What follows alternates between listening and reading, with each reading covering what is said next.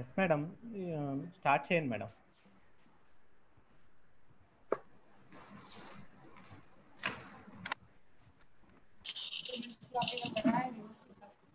Good morning, one and all. On behalf of KVSR Siddhartha College of Pharmaceutical Sciences, I, Dr. V. Karunasri, Associate Professor, HOD Department of Pharmacognosy, extend a warm welcome to you all to this last day of one week virtual international faculty development program on advances in pharmaceutical sciences, research and practice. Organized by KVSR Siddhartha College of Pharmaceutical Sciences, IQAC, in association with APTI, AP State Branch, sponsored by Siddhartha Academy of General and Technical Education. It gives me immense pleasure in introducing today's speaker, Dr. Siva Reddy Chella, research collaborator, Illinois, Peoria, USA. Dr. Siva Reddy has completed his BPharm from Vishwabharati College of Pharmaceutical Sciences. He acquired MPharm and PhD from Andhra University College of Pharmaceutical Sciences. At present, postdoctoral training from University Illinois College of Medicine, Peoria, USA. Various positions uh, held by Sivareddy Garu is he is a clinical research associate from April 2005 to September 2005. Full-time research scholar from 2005 to 2008.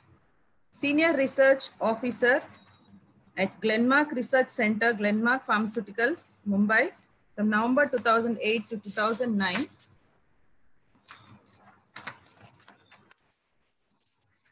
Associate Professor and Head Department of Pharmacology, Hindu College of Pharmacy, Guntur, from 2010 to uh, in 2010. At present, Professor and Head Department of Pharmacology, KVSR Siddhartha College of Pharmaceutical Sciences, Vijayawada, and presently a research collaborator in University of Illinois College of Medicine, USA. Additional appointments of Dr. Sivareddy, he is a nominee of uh, CPCSEA, Government of India. He is a biological scientist for Institutional Animal Ethics Committee of KVSR SCOPS and member secretary of Institutional Animal Ethics Committee SCOPS from 2018 to 2019. Other experiences, he is a grant reviewer of SERB DST Government of India doctoral thesis evaluator Andhra University, DSIR expert, uh, domain expert for TEP Outreach Cum Cluster Innovation Center, Acharya Nagarjuna University, India. The honors and awards and achievements of Dr. Sivareddy. Chukkapalli Pichaya Memorial Best Teacher Award in 2015. Professor P.C. Dandiya Award in 2017 for his best research paper presented at Golden Jubilee celebrations of Indian Pharmacological Society. Associate Fellow of Andhra, Andhra Pradesh Academy of Sciences in recognition of research and academic contribution in the field of pharmaceutical sciences in 2019. Dr. Reddy's Laboratory Junior Scientist Award in Molecular Biology for research contribution in the field of pharmacology and molecular biology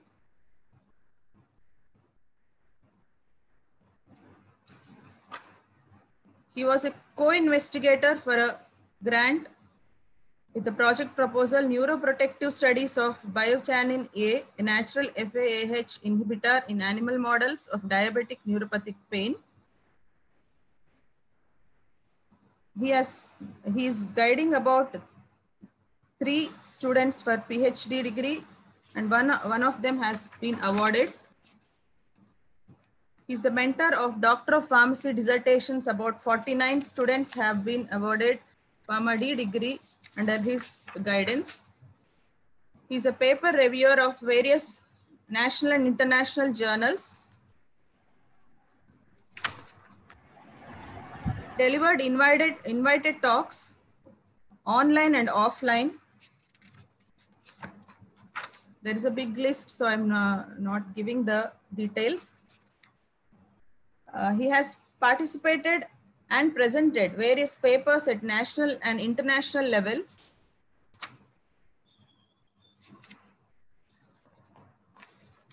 He attended several training and faculty development programs.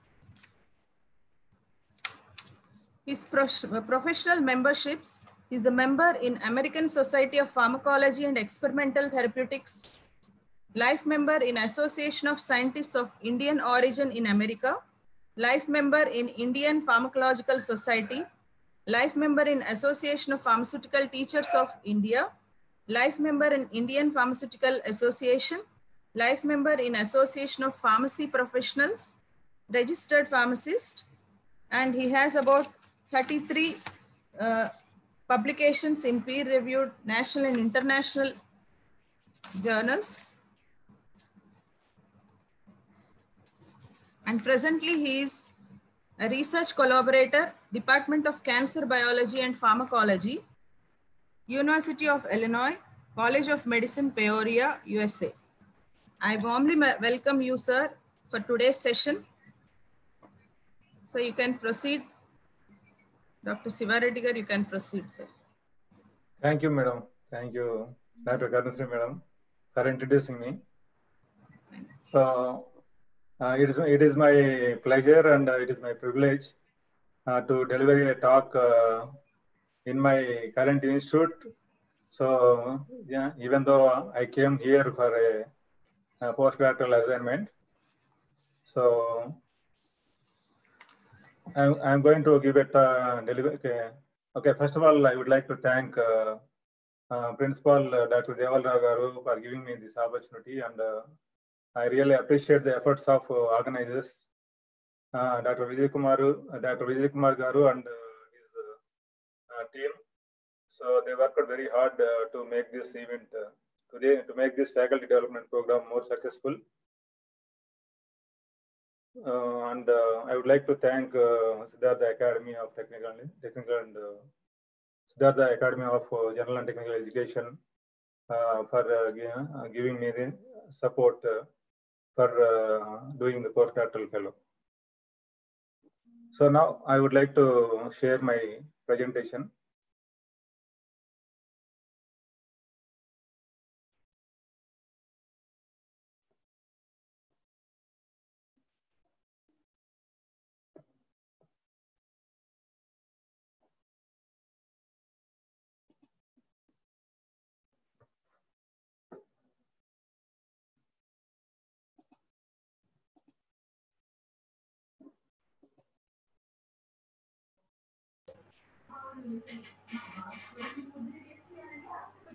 Sir, uh, select uh, share screen option, sir.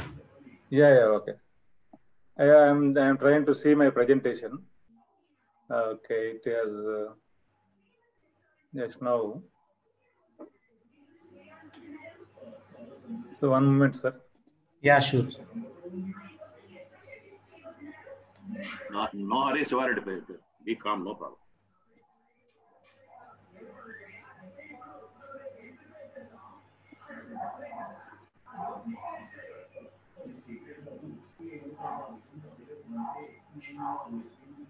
Okay, uh, one moment, sir.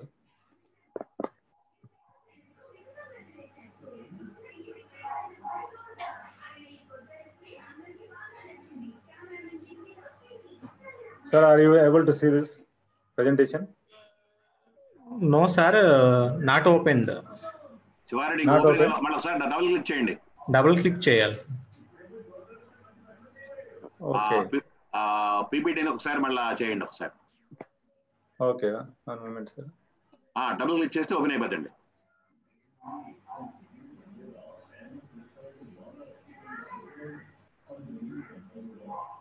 sir is it visible no sir first do one thing sir first open sir first open the PPT then you can share the screen sir then it will okay okay okay First open the PPT, then you can share the PPTs. Okay, okay.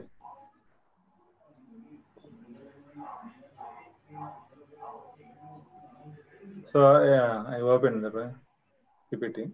Now you can share, sir. Go to Zoom and uh, now you can share it. Okay. Yeah, okay. Now, sir, are you able to see? Yeah, yeah. Sir, presentation full screen పెట్టేసేయండి. Yeah okay sir. Okay. Okay thank you okay so today I would like to deliver a talk on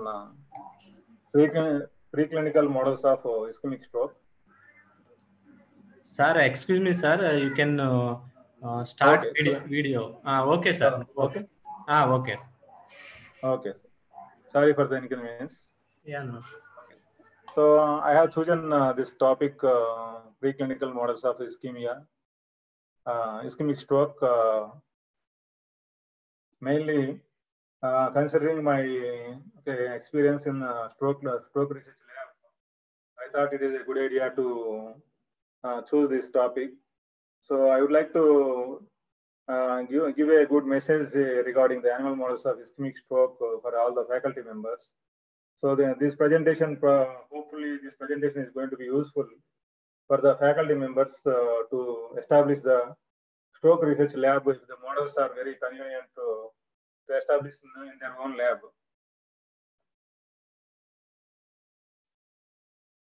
So stroke uh, by the numbers we see, uh, if you look at the epidemiological uh, uh, numbers, Stroke is the fifth leading uh, cause of death in USA.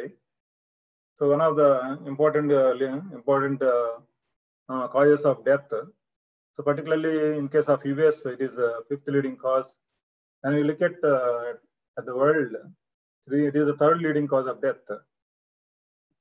So when you see the women, women, women and men comparison, the women are more affected. So about 55,000 more women than uh, men have a stroke each year. So probably the women are more, more affected because of uh, uh, certain specific factors like uh, pregnancy and uh, using uh, oral contraceptive pills and usage of hormonal replacement therapy. And we have certain specific conditions like preeclampsia condition and smoking in some other, in some countries by the female. So all these uh, factors may might uh, um, may, uh, might uh, make the women predispose the women uh, more vulnerable to the stroke. Stroke. So so every 40 seconds, uh, someone has a stroke uh, all over the world. Uh, so stroke is an important uh, concern for the uh, research community to address the issue. So let us see the risk factors. Uh, okay, the most of the risk factors are uh, modifiable risk factors. So when uh, when somebody controls the modifiable risk factors, so most of the cases it is preventable. So 80% of all strokes can be prevented. So since uh, the some of the risk factors are uh, modifiable. So I would like to differentiate uh, what is the ischemic stroke, uh, differentiate between the ischemic stroke and the hemorrhagic stroke. So if the failure of blood circulation to the brain is uh, brain uh, due to the blockade of blood flow in the brain is called ischemic stroke. So here uh, the uh, there could be the lack of blood supply or okay, sometimes okay, absolute lack of uh, blood supply due to the either thromb- thrombosis or embolism or stenosis. So the all these three factors may contribute to the uh, ischemic stroke. So thrombosis uh, generally generally it is considered as uh, the thrombus formation within the blood vessel in the brain is called thrombosis. So sometimes uh, thrombosis may form in uh, thrombosis may be formed in some other organ so the thrombus may be dis, uh, thrombus may be dislodged from other from other organs like heart or somewhere, and they are pumped into the brain. They are circulated into the brain, and they will clog the blood vessels in the brain. So uh, we see embolism most commonly in uh, atrial fibrillation. So in case of atrial fibrillation patients, uh, the, some kind of uh, thrombus, thrombus formation may be observed in uh, atrium. So the thrombus which is formed in the atrium may be pumped out of the heart and uh, maybe enters into circulation and reaches the brain. So once it reaches the brain, it, it will uh, occlude the blood vessels in the brain. So, and we call can stenosis also is one of the important reason for the ischemic stroke. So where we can see the narrowing of the blood vessels and uh, spasm of the blood vessels. So these are the important three, three important uh, causes that will uh, cause the ischemic stroke, uh, most of the cases. So let us see the, okay, uh, in, in case of hemorrhagic, hemorrhagic stroke, sorry, hemorrhagic stroke. So hemorrhagic stroke is mainly uh, caused in hypertensive patients or uh, in the head injury patients. Uh, we see sometimes okay, the people who use who use the anticoagulants.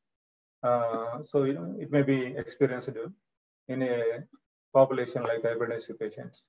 So in hypertensive patients also, uh, certain uh, group of patients, they have uh, aneurysms in the brain, aneurysms in the blood, in the blood vessels. The aneurysm is a, like, okay, it's like, it's like a extra growth. It is like a abnormal extra growth on blood vessel. It is having a very thin layer of the blood vessel there. So because of thin layer of the blood vessel, uh, there is a more chance for the breakage of the blood vessel.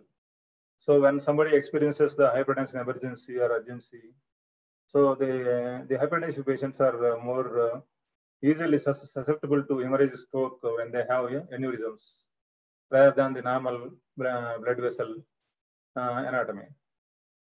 So I, okay, so I'm not talking much about hemorrhagic stroke because we are concerned today about ischemic stroke. So let us see the prevalence of uh, among the stroke patients. 85% uh, of the patients they experience the ischemic stroke. So whereas 15% uh, of the patients they, they may experience the hemorrhagic stroke. So though uh, the prevalence is very less uh, for the hemorrhagic stroke, hemorrhagic stroke is uh, it is very fatal. So very dangerous and many times it will cause the death immediately for the patients. So here, uh, in case of ischemic stroke, so we have uh, more more of the patients uh, who are having stroke, uh, they experience ischemic uh, stroke. So this is a uh, stroke where it, it is developing over a period of time, not it's not like an immediate emergency, but once the symptoms appears, it may be emergency, but so it develops over a period of time, ischemic stroke. So even uh, hypertension also maybe uh, most of the time, okay, it may cause ischemic stroke also. So over a period of time, ischemic, uh, over a period of time, hypertensive patients, they may have uh, the endothelial uh, damage in the blood vessels of the uh, brain. So that may cause like um, atheroma formation, in atheroma formation and plaque, plaque formation uh, all these may lead to the thrombus formation. So uh, hypertensive patients are, uh, they have a chance of developing both ischemic stroke and hemorrhagic stroke. But hemorrhagic stroke mainly occurs in hypertension emergency or urgency. Okay, let us see the next slide. So here, if you look at the, um, if you look at the brain uh, here, the, the patient and the patient brain who is affected with the stroke, there are two, two areas here. Okay, one is the area with the black color and another area is with the blue color. So the, uh, the area with the black color is called ischemic core. So that is the dead tissue. The already tissue has been died in the ischemic core. So it cannot be uh, retrievable, it cannot be repairable. repairable. So we have already irreversible damage in the black ischemic core. Whereas uh, the blue area is called uh, penumbra. So penumbra is the area where the, uh, in case of uh, ischemic core, we, uh, the patient has the absolute lack of blood supply. that is the reason we the, the tissue has been died. But in case of penumbra, there is a minimal blood supply. So the tissue is at danger, at risk. So it is going to die, not at die. So the most of the researchers, they are trying to uh, save the penumbra in stroke patients when they are initially affected with the stroke. So we need to uh, focus on uh, the researchers mainly focus they focus on uh, penumbra area to uh, to protect it. So what are the drugs which are uh, going to be discovered in the stroke? They are all trying to save the penumbra region of the brain. So when the someone when somebody has a ischemic stroke, so if it is not uh, uh, saved within time, you see here within 30 minutes, so this is the uh, size of the uh, ischemic core and penumbra. You see over a period of time, uh, within two hours, you see the black core is expanding gradually. So, so here uh, the time will decide the the death of the brain tissue. So that's why we say in case of stroke, time is brain, and if the time is lost, brain is lost. So we need to okay, one one has to react very quickly and uh, reach the hospital. So that is the reason uh, here. Uh, as the time progresses, ischemic core is expanding and uh, the penumbra region is uh, penumbra region is occupied with the ischemic core. So if you look at the okay, after 12 hours, you see a lot of damage was happened in the brain. So this will result in uh, the paralysis of the individual person or okay, lifetime lifetime disability may happen. So the, okay, here uh, within two hours you see how much okay, damage we have seen. Okay, but however, uh, when we when we give uh, like thrombolytic agents, uh, we can save the we can give when we give the thrombolytic agents within uh, three hours of the time window. So we can save the we can save the tissue of the penumbra penumbra region of the brain. So we cannot uh, get back the uh, ischemic core region that's why one has to react very quickly. So when the, when somebody say, has experience with the onset of symptoms, so that's what I mentioned here. Okay, the, the stroke in case of stroke, uh, so one has to react very quickly, and uh, we see when we, when we see the symptoms like fast. So F stands for facial weakness, and uh, A stands for arm weakness. Speech, okay, S stands for slug, uh, slurred speech. So time is important. T for T stands for time. So uh, when you see the symptoms of uh, uh, signs and symptoms of uh, fast, so we need to act fast to save the individual person. Okay, in, in the point of research, we need to okay, many researchers are trying to uh, trying to discover the drugs which uh, which can provide the protection to the penumbra region and the ischemic core. So in case of ischemic stroke, let us see, uh, if you look at the pathophysiology, uh, pathogenesis of uh, ischemic stroke, uh, when the blood vessel was clogged or occluded with the is occluded with the thrombus. So that is the the distal areas of the blood vessel uh, are affected. So uh, then they don't have any lack of uh, they don't have any blood supply in the distal areas where the clot was observed. So okay, when uh, when the blood vessel was uh, occluded, you see the uh, the series of events, uh, uh, series of pathological events which are uh, seen, which are witnessed uh, here. Arterial occlusion may lead to the release of glutamate and uh, it may cause a lot of uh, excito- excitotoxicity. And uh, okay, there is the increased intracellular calcium and sodium concentrations. You see the, so in case of stroke patients, we see the BBB disruption. So blood-brain barrier, we, we lose the integrity of the blood-brain barrier. So and you see the as a part of it, uh, the patients they, they may experience the inflammation in the brain and apoptosis, oxidative stress. So it is a interplay of uh, so many events. So finally, uh, we see the lipid peroxidation and then necrosis. So once the cell was uh, died, uh, okay, we can't uh, bring it back. So it is a brain cell. Brain, cell has no regeneration capacity, nothing. So that is the reason. Uh, so we need to understand the pathogenesis in order to discover a new drug, where to block it, where, where to where to uh, choose the therapeutic target. To in order to choose therapeutic target, we need to know. So whether to target inflammation or apoptosis, oxidative stress. So this is important. So let us see mm, the how the events are happening with respect to time. So in, in case of uh, acute phase, we see the necrosis in certain uh, in the brain tissue. So the, these are the cellular events which are happening. uh, these are the molecular events which are happening at the same time.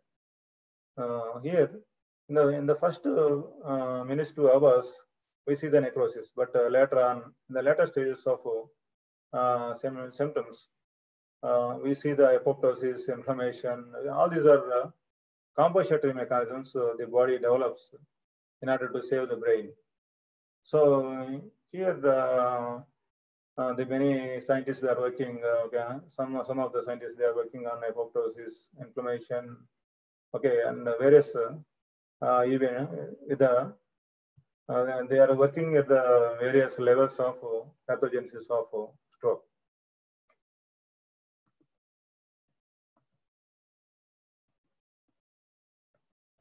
Okay, so I would like to tell, I, I would like to uh, discuss about, uh, so which animal model is uh, suitable to establish the stroke uh, animal models. So here, uh, in case of humans, uh, so we, we see the stroke patients, but in case of uh, animals, we, don't- we need to uh, induce the stroke in the animals. So we don't get, we don't directly get the stroke animals. So we need to induce the stroke animals. That's why the, we need to we need to have uh, stroke diseased animal animal models uh, in order to test the new any new chemical entity whether it is producing effect or not. So here uh, rodents are uh, less costly to obtain and maintain for longer time. So rodents have some spec- uh, specific benefits in case of stroke research.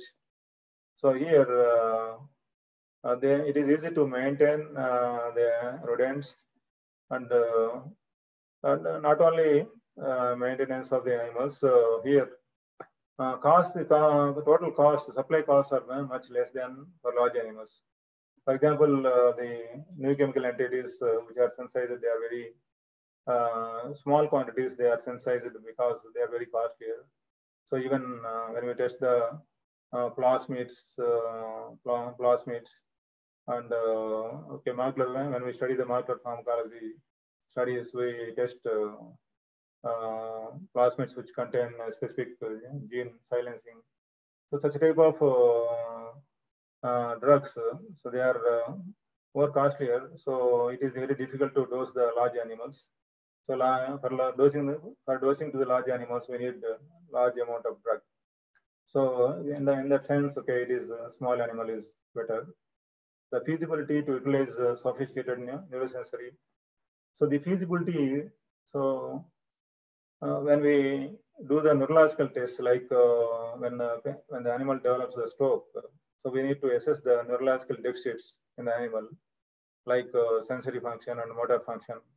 So we need to have feasibility to utilize the uh, to, to utilize the these uh, uh, tests. So we can easily perform uh, these type of tests on uh, rats and mice. So and the small brain size in rodents allows for certain fixation procedures for biochemical and neurochemical analysis. So small brain size, okay, it is very easy to do histological uh, sections and it is very to it, is- it is easy to uh, do the fi- fixation uh, procedures. So let us see what are the different uh, animal models of ischemia is classified as a global ischemic animal, ischemia animal models and uh, focal ischemia animal models.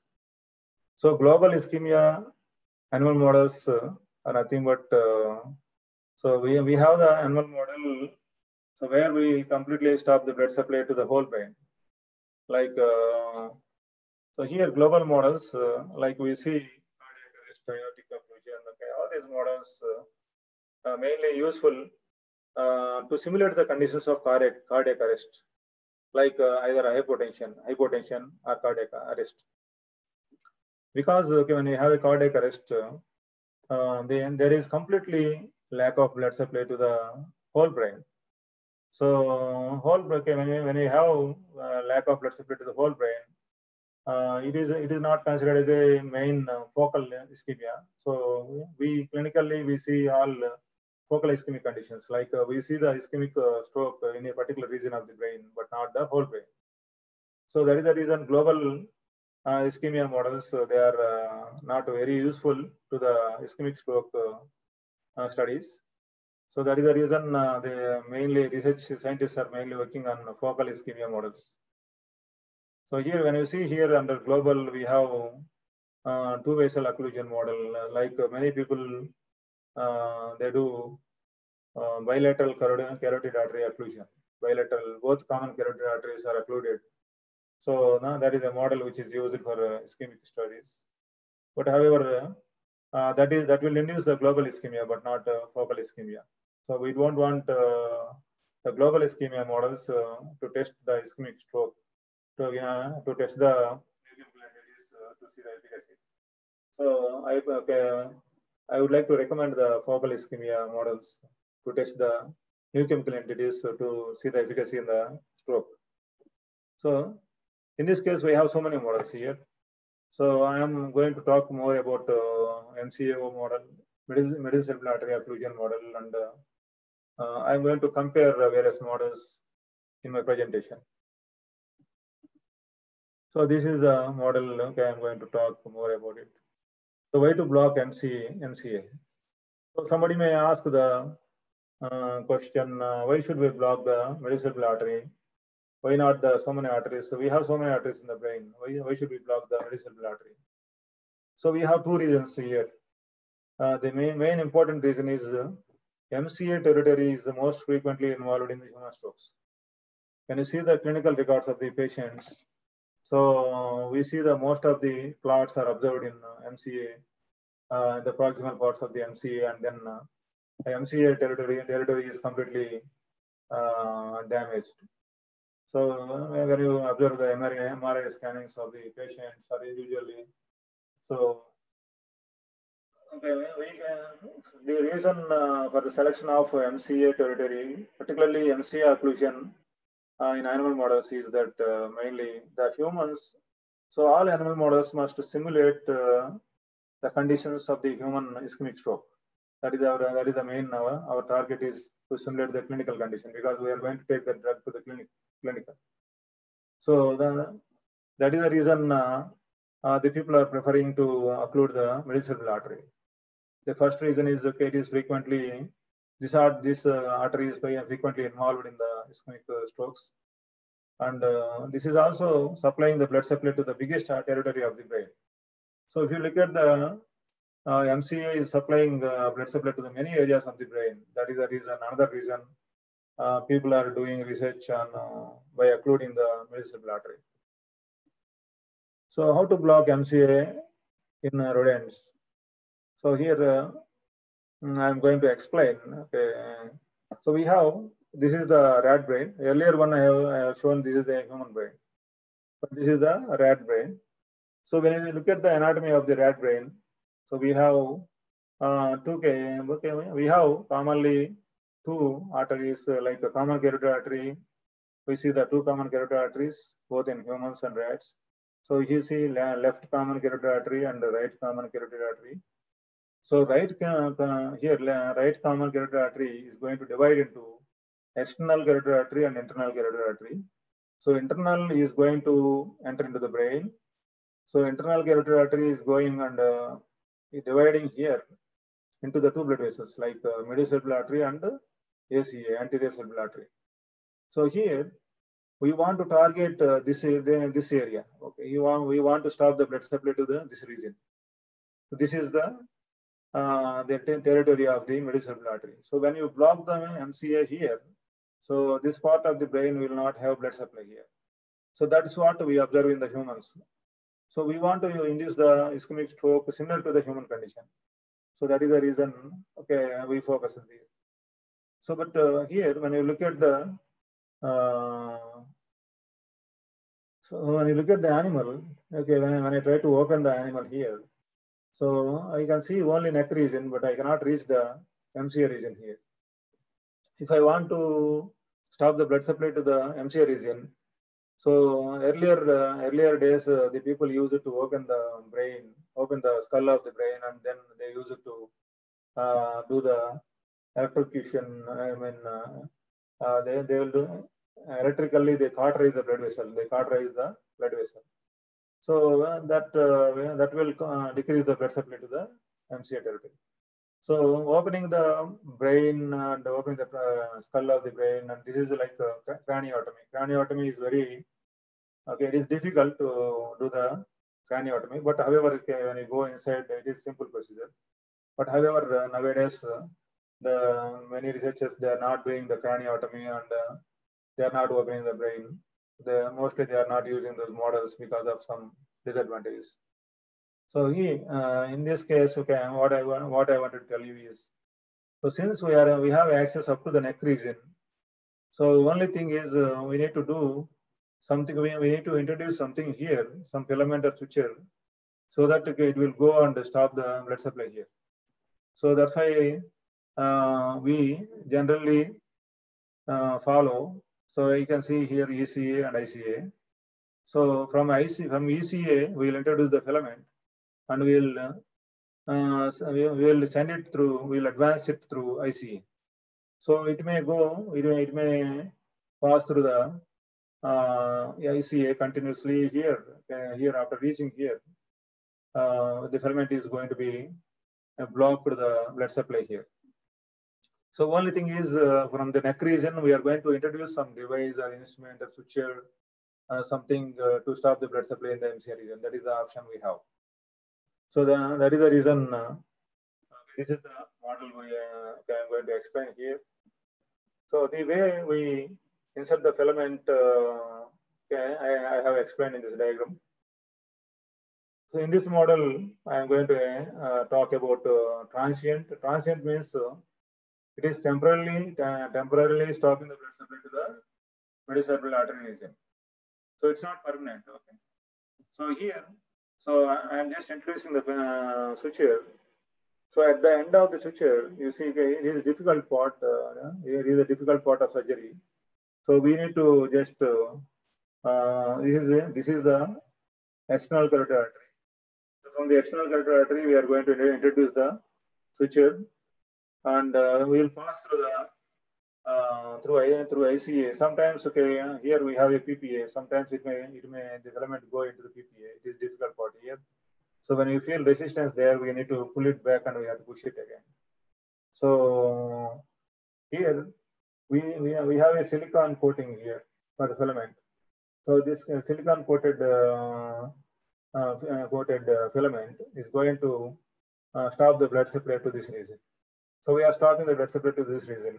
So we we passed the filament such that uh, it is going to block the blood supply to the CA. So we have practical implications in this uh, model.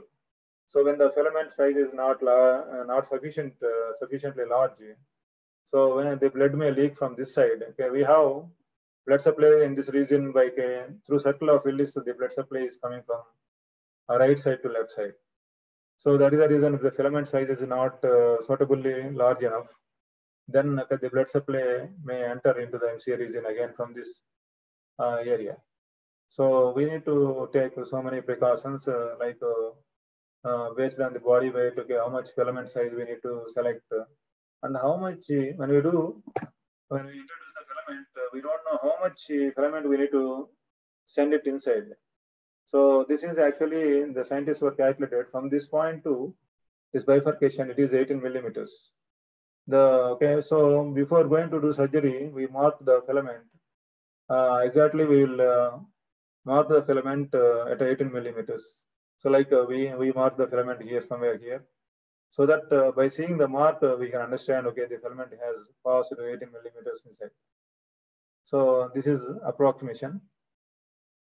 So we have many other methods to see the whether the filament has successfully placed.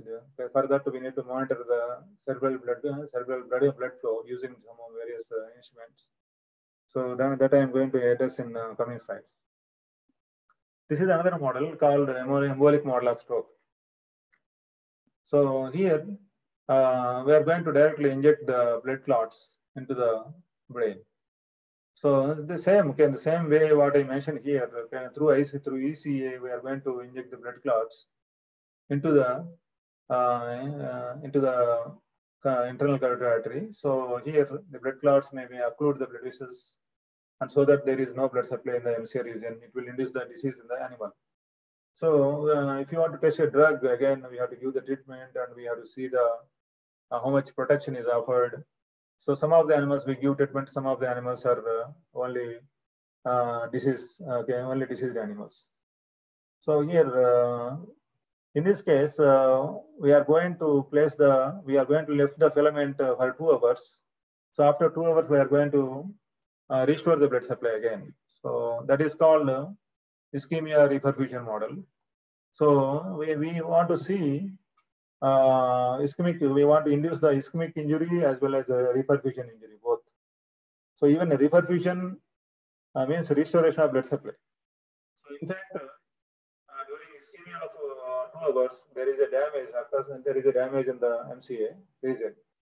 But after uh, after removing the filament, the blood supply is restored, and the blood supply when the blood supply is restored, uh, so it should recover actually.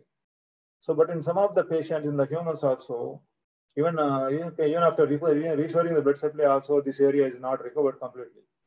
That is called uh, reperfusion injury. So we have two types of injuries here: ischemic injury as well as reperfusion injury. But reperfusion is beneficial to some extent, but it is harmful to some extent. So that is the reason we, if you want to really get the benefits of uh, thrombolytic therapy or uh, reperfusion therapy, so we need to give some other uh, neuroprotective agents that may reduce the uh, reperfusion injury. So some drugs okay, may, may try to reduce the ischemic injury. So okay, I'm just moving on. It took a long time here. So reperfusion injury, uh, I mentioned the mechanism. So why a reperfusion injury is like a double-edged sword. Okay, maybe here there is a clot here. Okay, we have given we have given a TPA tissue plasminogen activator, any thrombolytic agent uh, which is going to break down the clot. So after breaking down the clot, uh, the what is happening here? So there is a lack of blood supply for some time in the tissue after a sudden uh, blood supply. So some damage may occur. So this damage should not compromise the benefit which we have, benefit which is coming out of the TPA therapy or thrombolytic therapy.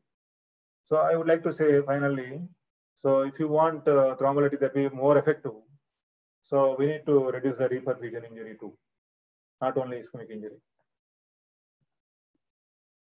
So that's what uh, okay, I would like to show the graph here. So in this graph, uh, you see there is a ischemic injury and we have seen some kind of reperfusion injury too.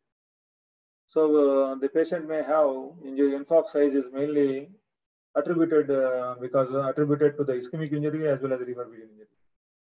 So here, here, uh, since we have given reperfusion, so there is some benefit here.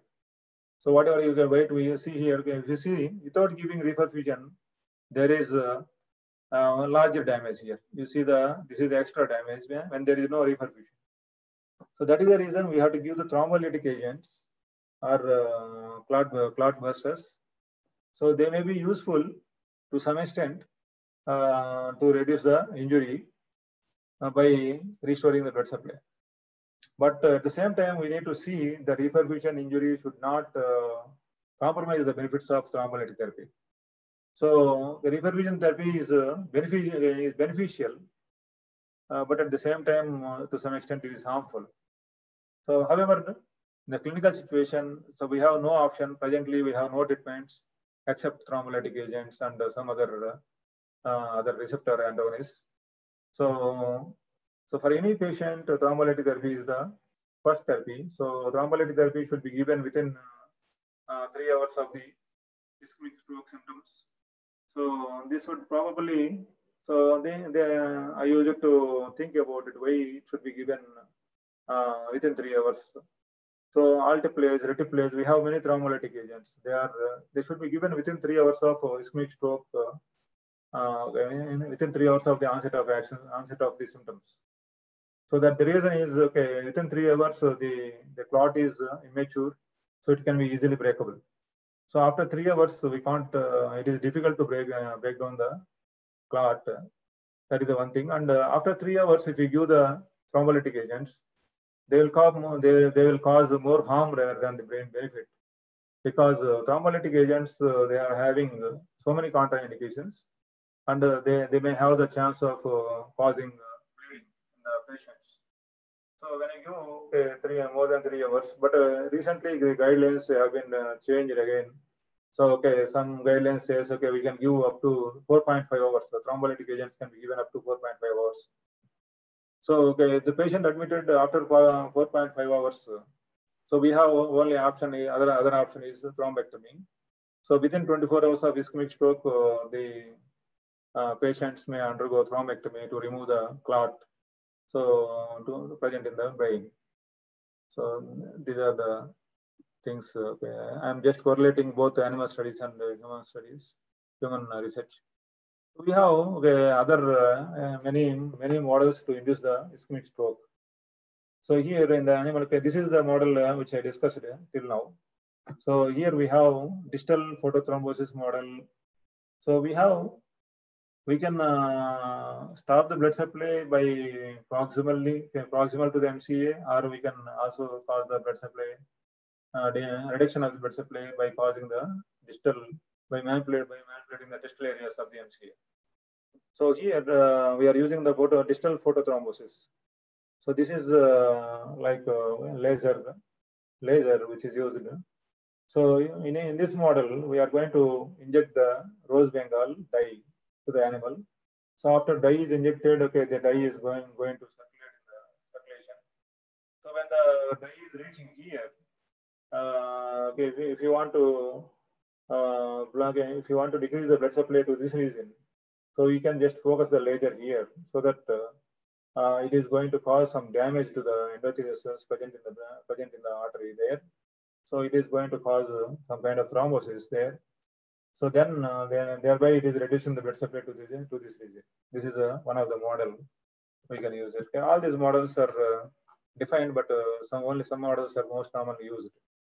So we have proximal electrocoagulation, and uh, so we have you see here uh, a topical application of endothelin one, and uh, so we have intraparenchymal endothelin one microinjection. So why endothelin one is used to, to induce the to to block the blood supply? So here, endothelin one is a powerful vasoconstrictor. When we topically apply it, it is going to constrict the blood vessel, and so that uh, thereby decreases the blood supply to the distal areas of this region. So this is how it is going to cause the infarction or uh, death of the tissue there. So I'm talking how to induce the disease till now. So we have various methods to induce the disease. Once the disease is induced, then we are going to test the drugs. So these are various uh, advantages and disadvantages of uh, various models. Okay, there there are so many models here. So I talk. Uh, so we need to choose the model based on the uh, based on the your requirement. So for example, okay, I want to study the collateral circulation. For example, uh, I want to see when the blood supply is stopped, okay, how the collateral blood vessels are formed, and uh, okay, I want to study the collateral blood vessels. So collateral blood vessels are the capillaries, small capillaries, which are going to which are going to be formed to to protect the tissue in the ischemic area. So collaterals are uh, are the new blood vessels which are formed to protect the tissue which is going to die. So that is the reason. Uh, okay, if you want some, some scientists they want to work on collaterals, so we need to use the permanent ischemia model. Uh, so permanent ischemia ischemia model I am going to tell you later on. Okay, this okay. You can uh, again. I'm going to share the presentation. Okay, you can read all of this. Okay, maybe afterwards. Okay, sorry.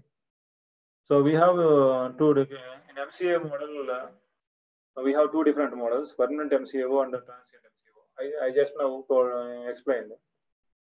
In case of transient MCAO, so we are placing the filament uh, for two hours, and then afterwards we are removing the filament. So that is called uh, reperfusion. That means we are restoring the blood supply after two hours. That means we are producing only two hours ischemia to the animal. Okay, so so after two hours, uh, maybe reperfusion, maybe uh, reperfusion may be beneficial to some extent and maybe harmful to some extent. So, however, it is going to cause some damage. So that is already well reported. this Longa model, uh, this is this model is called Longa model. So he was discovered this method. So here the main benefit is, uh, so we are going to, we are not disturbing the CCA here. We are not going to make any, any incision to the CCA. We are going to make incision to the ECA, and we are going to introduce, introduce the filament. So this in, the, in this model, uh, the we can restore the circulation here, restore the blood supply again. But in this model, this is a permanent occlusion model. So here, this model is used. Uh, if you want to induce the ischemia permanently in the animal. So like uh, if you want to induce the ischemia for 24 hours at the end of the study, if you want to sacrifice the animal and uh, isolate the brain and uh, if you want to study the infarct size and all those things, you can do it. So this model, uh, many guidelines recommend uh, recommend. So we, we need to conduct the study first in the permanent ischemia model and then uh, transient ischemia model. So in this case, um, we uh, in this case uh, we are placing the filament, but we don't remove the filament till the end of the study. So means till the sacrification of the animal. So that is the difference between permanent MCA model and the transient MCA model. So people are, uh, many people are working on 80% of the research is happening on one TCA. This is called TMCAO. So 80% of researchers are working on this model, but very rarely, so some uh, people, some researchers who are working on collateral circulation those things, so they are working on this model. So I explained uh, here uh, what are the what is the advantages and disadvantages of the permanent MCO model. So I mentioned, okay, this model is used to, so since we are stopping the blood supply 24 hours or 48 hours, so as long as the filament is present inside, okay, the blood supply is completely stopped. So in this model, okay, when the filament is completely placed there, so we, we can have, we can see the complete ischemic injury, but we don't see the reperfusion injury in this model. So because of your complete ischemic injury, we see the collateral formation, collateral circulation. So if you want to do some research on collateral collateral blood vessels, this is a good model. So here, uh, this model mimic the cerebral injury caused by ischemic stroke without reperfusion. So some of the patients clinically we see, so they they are going to have only ischemia, but they don't have any reperfusion. Like uh, if they admit the hospitals uh, hospital after 24 hours, so after after even surgery also not possible after 24 hours. They will become a permanent ischemia patients. So in patients also we see permanent ischemia patients. So in those okay, such type of uh, uh, this model is going to simulate the such type of such type of clinical patients. But problem is the mortality in this model. Animals are animal death rates are very high. So this model, okay, what we do in uh, in our lab because it is more uh, these are the benefits. So that is the reason we are using it, this model. Gold standard, this is a gold standard model for a mechanistic study of ischemia. So this model will produce the penumbra region in the brain. So that's what I explained in the second slide of the presentation. So this exhibits the penumbra region.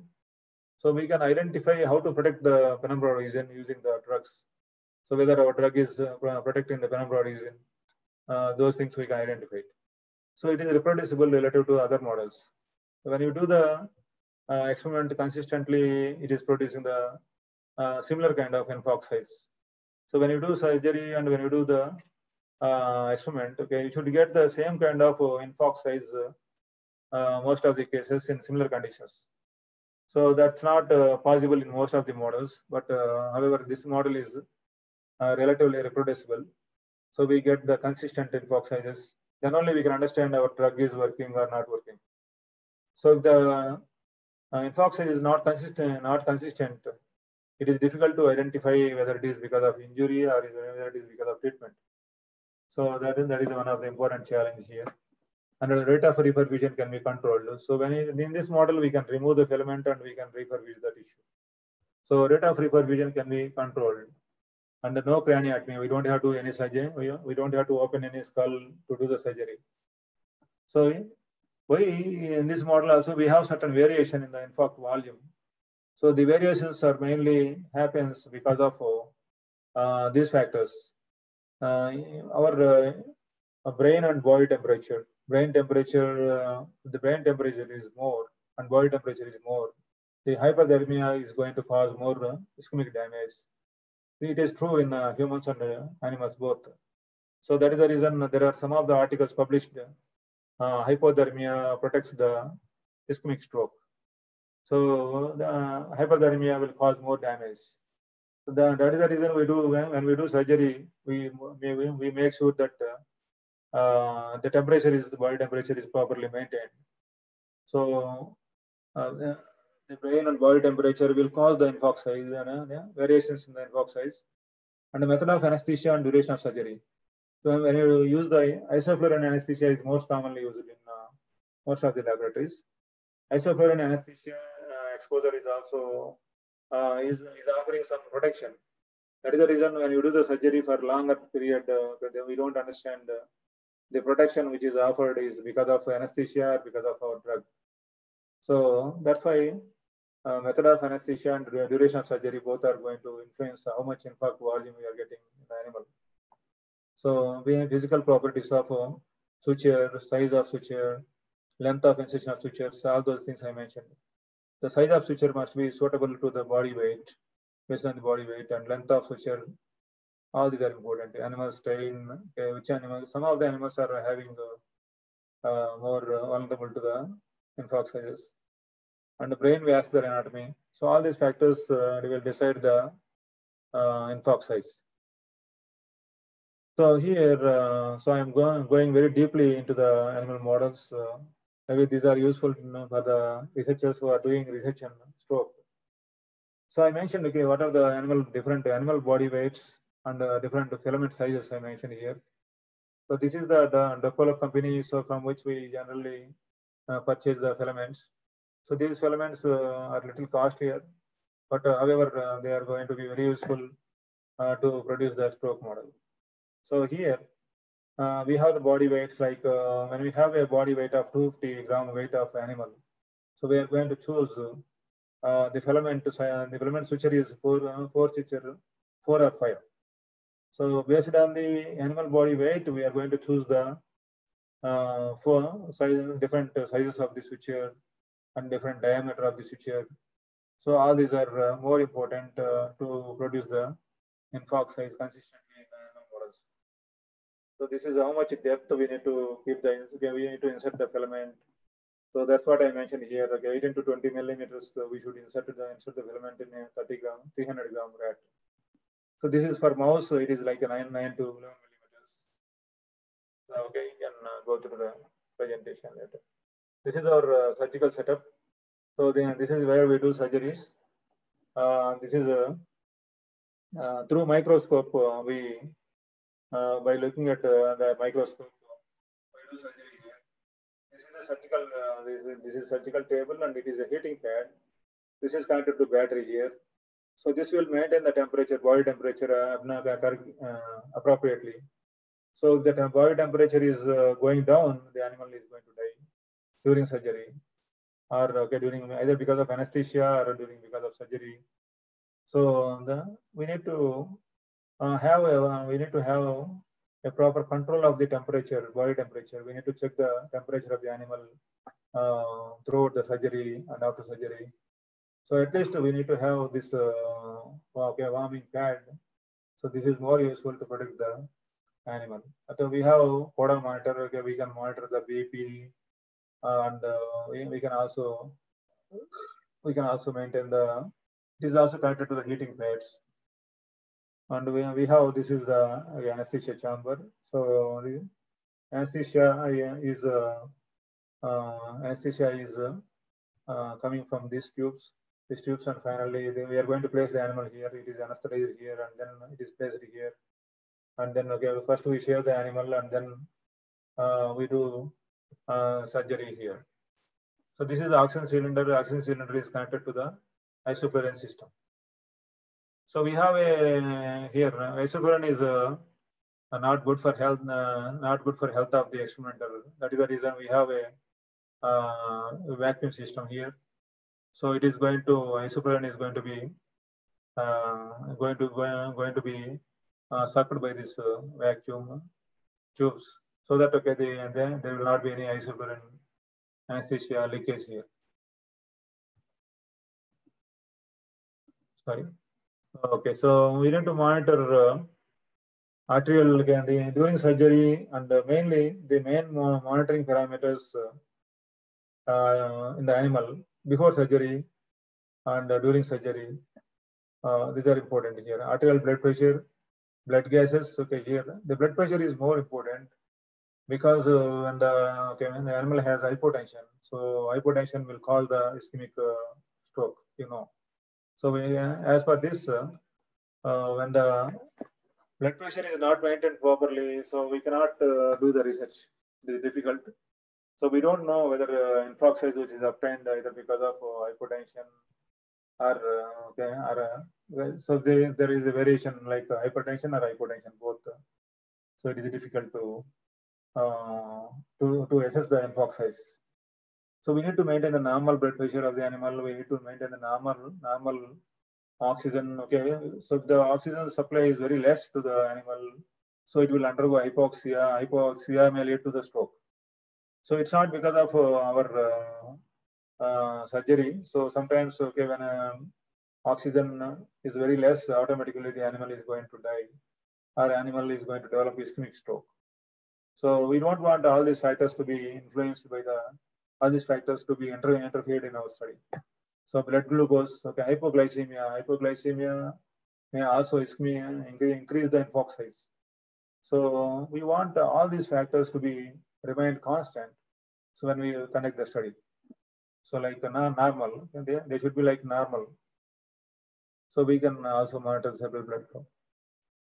So during anesthesia and uh, post surgery, we monitor uh, many things here.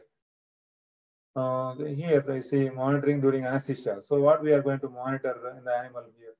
So I, uh, in the animal, we are going to see analgesia. So whether uh, the animal feels okay, before the before giving anesthesia, we make sure that the animal has uh, an animal has no pain at all. So like toe pinch or tail pinch, so we check it and uh, we see the respiration, how the animal respiration. Uh, are there any changes in the heart rate or something? So uh, we need to monitor the color or uh, color of mucous membrane and skin. So the animal is undergoing hypoxia, then uh, we can uh, see the some color changes in the skin. So in these in these conditions, uh, we can't go ahead with the surgery. So that is the reason. First, we need to take care of the animal. Then, uh, then only we can go ahead with the surgery. So this is this is the monitoring after surgery. So these are the four things we will monitor in all the animals. First, okay, after after doing surgery, so we are going to take care of the animals. So assess appearance, activity, and behavior as indications of pain and discomfort. So we see the animal, how it is doing, okay, how is the behavior, behavior whether it is isolated and depressed. So those things we'll uh, assess it. So if the animal is so depressed and uh, we, we try to identify, so whether the animal is going to survive or okay, they, they, are there any chances for mortality? And assess the food and water intake. So we, we see whether the animal is taking the sufficient food and water. And the, sometimes, many times, the animal cannot take the food after surgery. We need to give the food in a wet mash as a wet mash. So we'll give the wet food in the cage inside the cage. So so that it can animal can easily reach there. So water intake. So definitely, the, we observed some drastic reduction in the food intake uh, in the stroke animals. So because uh, so there is a mechanism for this. Uh, during surgery, we we got the ECA. So ECA actually is connected to mastication, and so it is going to influence the food intake of the animal provide uh, for a floor level access the food, uh, food and water to the animal and assess the wound holding, uh, wound, wound healing. So we, we made the sutures on the, to the animal. So routine use of antibiotics is indicated. okay, I mentioned the post-surgical care and pre-surgical care. So post-surgical treatment, we follow all these things, all these drugs. Yeah, before surgery, we give, at the wound site, we are going to apply betadine and uh, we will also apply alternatively apply the isopropyl alcohol swabs. So in order to avoid the infection after the surgery. So we are going to introduce uh, this, we are going to inject uh, cefazolin injections Uh, for three days, we are going to give this antibiotic uh, after surgery. And we give analgesias, analgesias uh, either uh, carprofen or uh, buprenorphine. So carprofen is used to, reduce the pain in the surgery animals. So this is carprofen we give before surgery and after uh, surgery also for three days. So these are the doses I mentioned. uh, we, we follow this in our lab. The normal saline also, in order to avoid the dehydration, we give the normal saline uh, to prevent the dehydration. So this is 3 ml for rat and 5 ml for mice. So I'm just quickly going through, the slides. So we apply the triple antibiotic ointment uh, for uh, sutures, okay, for, for the sutures uh, after surgery. So I mentioned food, wet mash, pentobarbital is used for euth- euthanasia of the animals. So at the end of the study, sometimes we run the uh, study for 14 days, uh, depending on the, so after uh, inducing the stroke, uh, uh, we monitor for uh, the functional outcomes like neurological evaluations. So how the animal is doing on the beam walking and rotor rod. So we test many neurological, we, conduct many neurological functions to see the animal activity.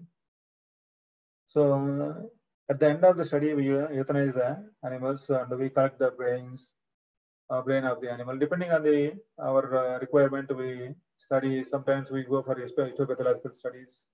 Some brains we, we use it for Western blotting. Some brains we use it for real-time PCR to see the mRNA expression. So, so it is uh, uh, the brain is utilized for uh, either sometimes we quantify the how much infarction was observed. So depending on the type of the study, it will vary. So heating pads, this I, I mentioned already. So this is the troubleshooting of transient MCO model of stroke. Uh, most of the things uh, I explained. So sometimes we see, uh, okay, animal dies from hemorrhage, animal dies from hemorrhage. So, so suture tip has a rough edges. If this suture has a rough edges, the animal is going to die because of hemorrhage. So the uh, the tip of the filament is going to uh, poke that poke the blood vessel, and the blood vessel is going to be ruptured. Uh, so we have uh, the very we have to based on the problem we we have the solution here.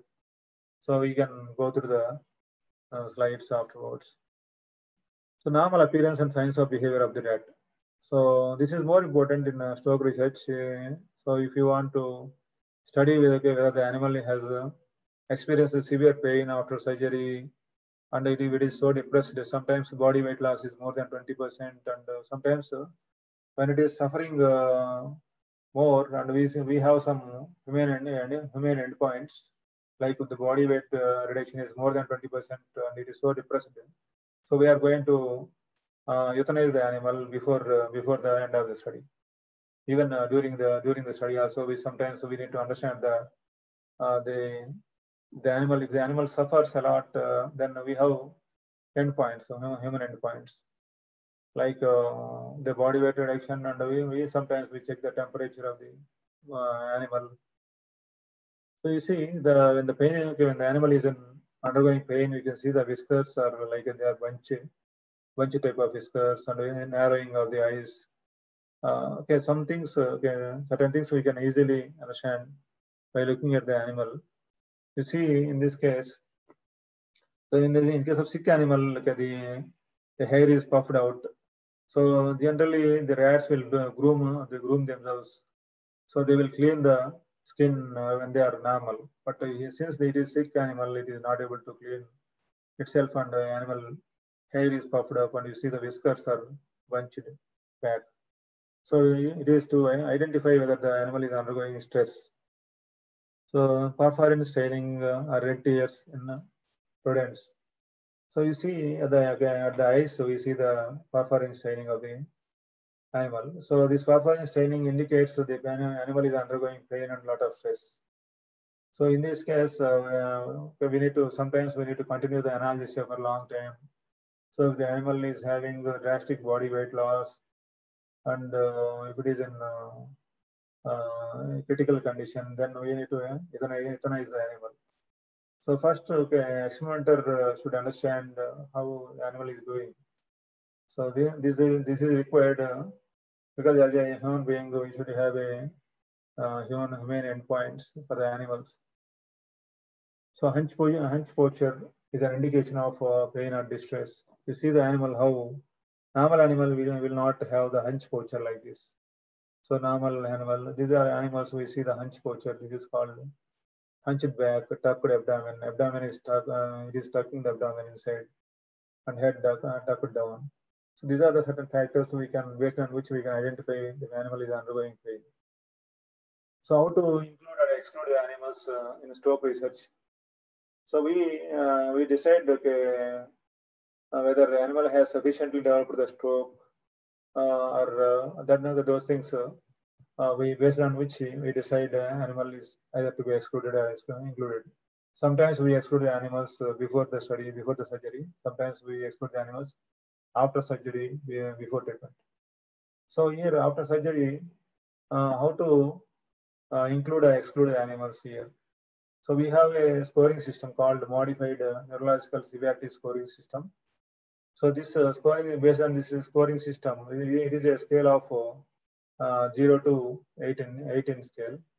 So uh, 0 to 18 scoring system. So if the score is below 8, uh, we are going to uh, uh, exclude the animal. So if the score is above 8, uh, it has developed the severe stroke. So it has developed the stroke, we will include into the study. So MNSS scoring, uh, based on the MNS scoring, we are going to decide whether the animal has to be included in the study or excluded in the study. And many researchers, they will uh, uh, see the cerebral blood flow, cerebral blood flow, uh, CBF. So when the filament is placed uh, into the brain, they, they will monitor the cerebral blood flow. The CBF should fall more than, it, it should fall around uh, 10 to 20% uh, than the baseline. So before filament, the blood supply is 100%. So after placing the filament, the blood supply has to be reduced to 10 to 20%. Then only the, the placement of the filament is successful and uh, the, the animal is going to develop the stroke successfully. Otherwise, uh, the animal has not developed the stroke successfully. So we need to exclude the animal. So only this is the main important uh, criteria in stroke research. And the CBF uh, reduction is uh, not sufficient enough. We can't ensure the we can't ensure the stroke in the animal. So this is also there for this uh, for monitoring CBF we have uh, advanced instruments uh, then in uh, research labs. So I'm going to discuss in the coming slide. So what about this hemorrhage in the brain instead of ischemia? So here see we, we introduced the filament here. The filament has advanced okay till the bifurcation here. Actually the filament is not supposed to rupture the blood vessel here, but uh, somehow the filament has ruptured the blood vessel here. So instead of uh, stopping the blood supply, so it should be within the blood vessel, but it should stop the blood supply here. But it is uh, poked the blood vessel, and so this has caused the bleeding here. So we are not inducing the hemorrhagic stroke. This is like a hemorrhage in the brain. So we are we are we are not inducing the hemorrhagic stroke. So our intention is to induce the ischemic stroke. So that is the reason this animal we, we have to exclude. So this uh, they have to to identify there is if there is a hemorrhage. Uh, okay, if the animal dies, if the animal dies, then uh, we do the post-mortem and we so we try to identify if there is a hemorrhage in the brain. If there is a hemorrhage in the brain after post-mortem, so we exclude that animal. That data is not going to be useful for the study. So we write it the animal is excluded. So sometimes uh, uh, we see the typical behavior of the animal. The animal jumps like this. So the, the, in that cases, okay, we we predict sometimes there may be hemorrhage in the brain. So then, this is also one of the important factor uh, to get the uh, good outcomes in the stroke research. The other factors like uh, the body weight uh, reduction is uh, more than 20% uh, that animal is going to be euthanized. We are not going to include the animal in the study. So this is a modified neurological severity score. We identify, we study the animal, how the flexion of the limb, uh, flexion of the forelimb and flexion of the hind limb. So generally, normal animals will not show the flexion of the forelimb. It's like a paralysis, uh, paralysis in uh, animals. So like uh, we see some uh, dis disabilities in the animal. So if the flexion of the forelimb is present, score is one. the flexion, flexion of the hind limb is present, score is one. So normal walk, uh, if normal walk is not there, unable to walk straight. So one, this is the scoring system. Uh, this is commonly used by. So this uh, type of behavioral studies can be done without uh, much advanced uh, techniques in the lab. So after doing surgery, so once you establish, you establish the setup for surgery, so you can then conduct normal infarct size assessment can be done anywhere in any lab without much facilities. And here, this MNSS scoring also can be done very easily. It is feasible in the small labs like uh, anywhere. Uh, we can do it. So okay, here, uh, I have a video to share it. So you see the stroke animal, uh, okay, after inducing the stroke, this is a mice uh, which, is, which is affected with the, which we have induced the stroke. So, uh, so animal is going to making the circles. So animal is making the circles here. That means uh, it is uh, not able to turn to the right side. It is it is able to. So it is uh, okay. So it is depending on the which side you are inducing the stroke. Based on that, the animal is going to rotate, uh, making circles. But the circling behavior is important in the uh, stroke research. So we see circling behavior. Uh, based on that, we can understand uh, this animal has developed the stroke. So, so we have another animal here. Uh, this animal, this animal has a typical walk. So it is not able to walk straight.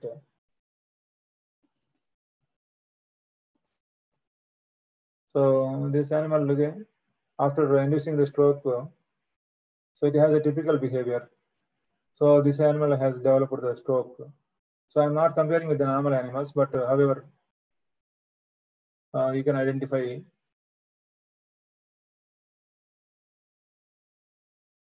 Okay.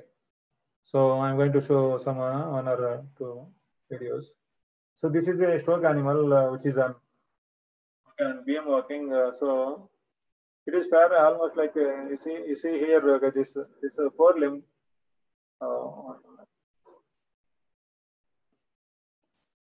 Okay, I would like to explain once again. Normal animal uh, it walks the walks on the beam very freely, but uh, this animal you see this is this is a real, real disability of the limbs.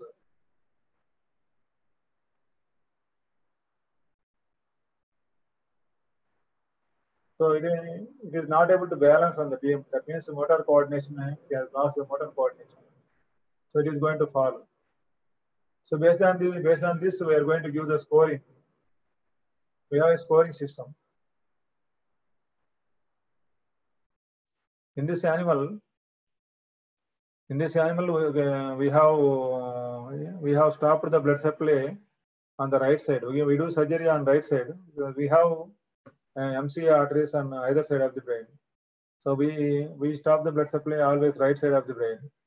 So when uh, stop when we stop the blood supply on the right side of the brain, the left side is paralyzed. And left side is paralyzed. Okay, it cannot uh, move on to the left side. It can move always run onto the right side. So this is what happens. We know okay when the left side part of the brain is affected, uh, the right side is paralyzed. So that's how it happens in the animals also. Okay. So this is uh, another animal. This is rat uh, which is making circles. So inducing stroke.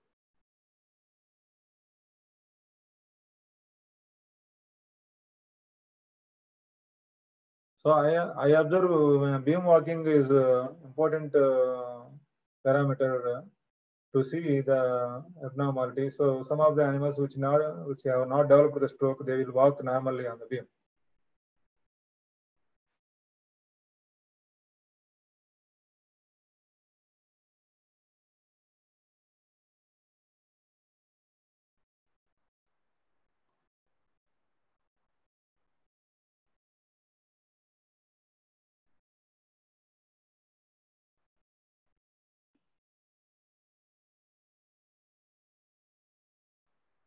So for this animal, left side is affected, not the right side. Okay, but left side you can see the limb limb is falling. Both limbs, forelimb and hind limb, both are falling.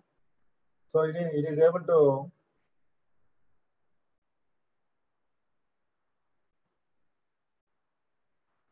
So this is how we, we assess the MNSS scoring. So this is what I mentioned. Okay, beam beam balance test. Okay, here grasp.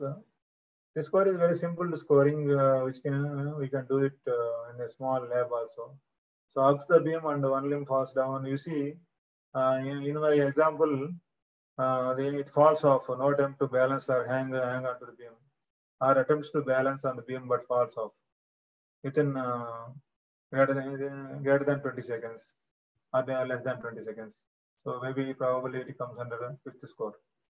So based on that, okay, total 18 score is there. If the, the score is less than eight, we are, we, are, we can, uh, animal has not developed the stroke. The score is more than eight, animal has developed the stroke. So based on that, uh, we can give the, okay, based on the, based on that, we can decide the treatment. And we will include the animal first of all. So after on, uh, afterwards, uh, we study the treatments.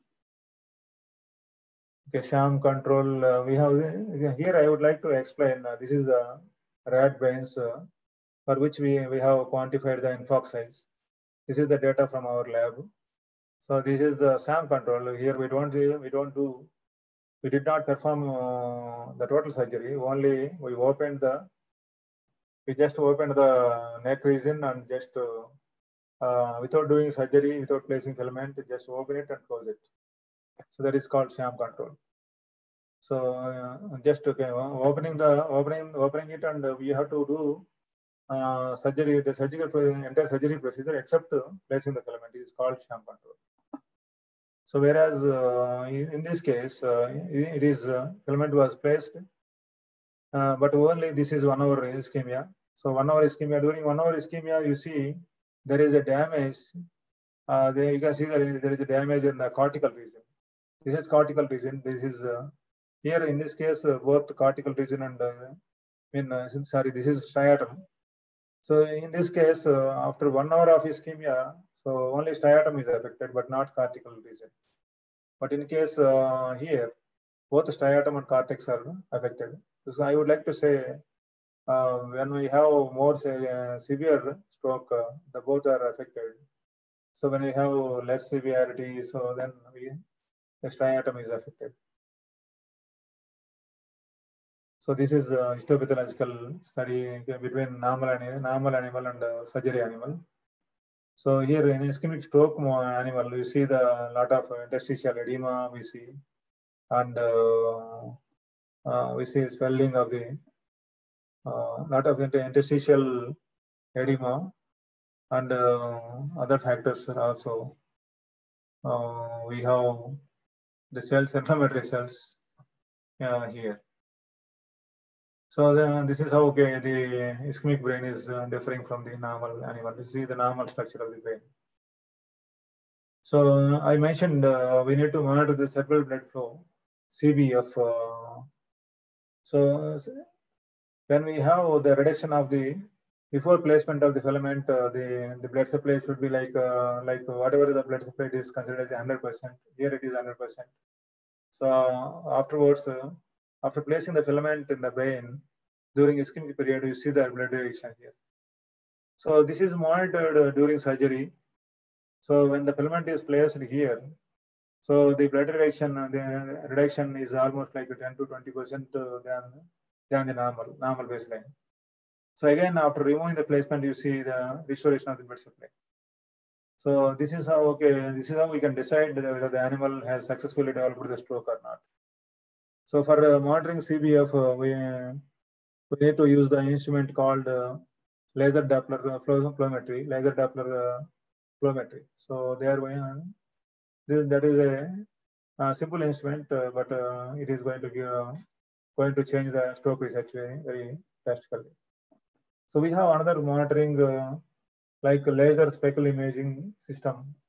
So we don't have this facility in our lab, but uh, this is common, commonly done in uh, some advanced labs.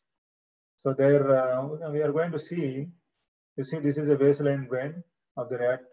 See whatever the red color you see that they're all blood vessels. So blood, okay, we can identify how much blood perfusion is present in the blood vessels. So here uh, in the stroke animal, you see almost like uh, this side of the brain area, it has no blood supply. That means uh, it has developed the stroke.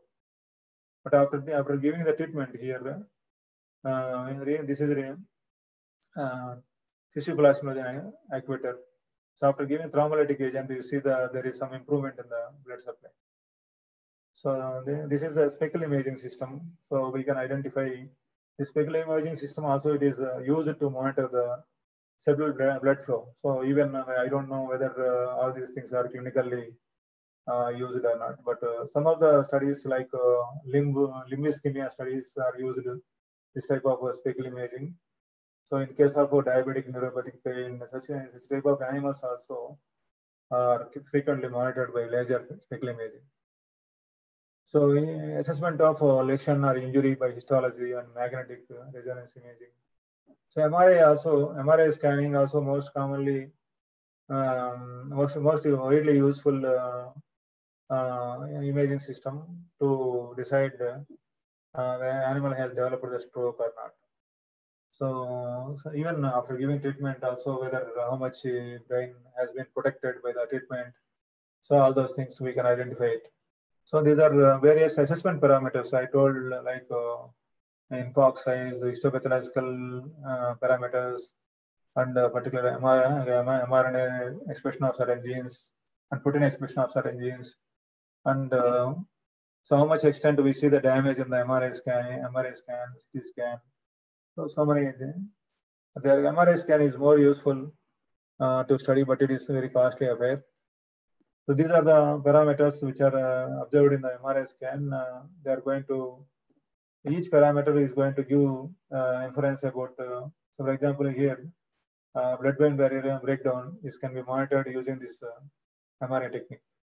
So we have different MRI techniques to monitor a particular parameter in the brain of the animal. So why new chemical entities that exhibit efficacy in animal models of stroke are not able to make it to the clinic?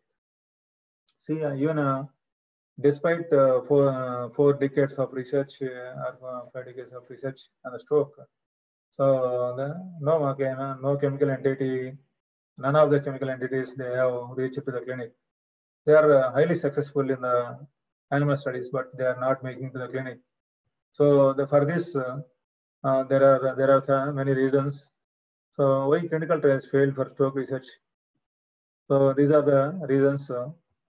Uh, you can see here diversity of stroke types. So we do MCO model in the animal studies, but you see patients with broad pathophysiological heterogeneity. heterogeneity. So the patients they may have pathophysiological, pathophysiological heterogeneity. So it, it, pathophysiology may be a little uh, differed from the person to person. Uh, heterogeneity is observed. And uh, in case of MCO model, okay, the same kind of uh, introduction of filament, same kind of pathophysiology is followed for all the animals. But maybe in patients, maybe heterogeneity, there may be some kind of heterogeneity in pathophysiology. And the time windows for drug administration. So here it is short. Okay, here we are going to give the drug uh, immediately uh, after two hours after ischemia, two hours after ischemia, or one hour, one hour, one hour after ischemia, or four hours after ischemia. But clinically, it's not uh, it's not possible. So many patients they admit to the hospital maybe six hours of stroke or eight hours of stroke. So we rarely see thrombolytic therapy is only effective within uh, 3 to 4.5 hours.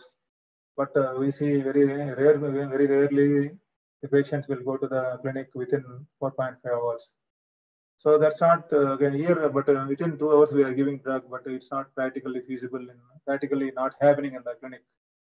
So that's why uh, some variations are there because of which variations maybe uh, we have we are uh, having failures in the clinical trials optimal duration of drug administration. So it is unknown. Okay, so that's that's what I'm mentioning. We don't know when exactly the treatment is going after six hours or after four hours. So we don't have other than thrombolytic therapies, uh, uh, we have uh, no, no many options uh, for the stroke. So outcome measures to judge the efficacy. So here we are in all the animals we study, we, we assess the infarct size. Infarct size is nothing but the damage, size of the damage. Okay, so uh, size we measure it, but clinically it's not uh, it's not possible to assess the infarct size. So what we see there is okay how the patient is doing, okay how much the extent of disability and clinical functional endpoints we see it. So here in patients, we are going to monitor the clinical functional endpoints, but uh, not the infarct size. So, but in animals, we study infarct size, we assess the infarct size and functional, so function, functional aspects. But these are the some of the things we can predict uh, to to say that okay, clinical tests are failed. But uh, so many reasons reasons are unknown. The early outcomes and late assessments. Uh, here, okay, we study, we end the study within 15 days, but uh, in the clinical scenario, the patient may uh, live with the disability for three months, six months, or one year, even for years together. So this, this is why maybe probably, so we are having the, most of the studies, uh, they are conducted in uh, young healthy rodents, but whereas the patients uh, may suffer with the several comorbid conditions. Clinically, the patient may have so many comorbid conditions, and uh, some gender differences are there and uh, many things. But here we study all the studies in any healthy rodents. So maybe that is the reason uh, the, there was a meeting called Stroke Therapy Academic Roundtable. Uh, this was uh, called as a STAIR.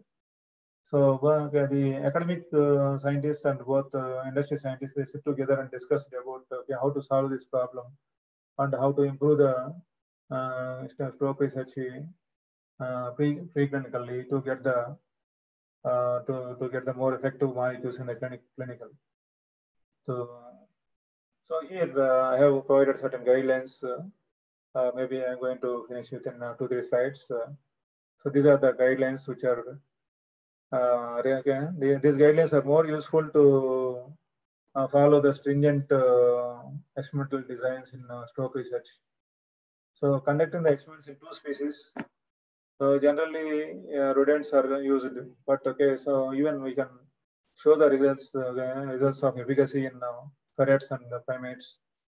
And adequate dose response curve should be defined and serum concentrations measured to define minimally and maximally effective doses.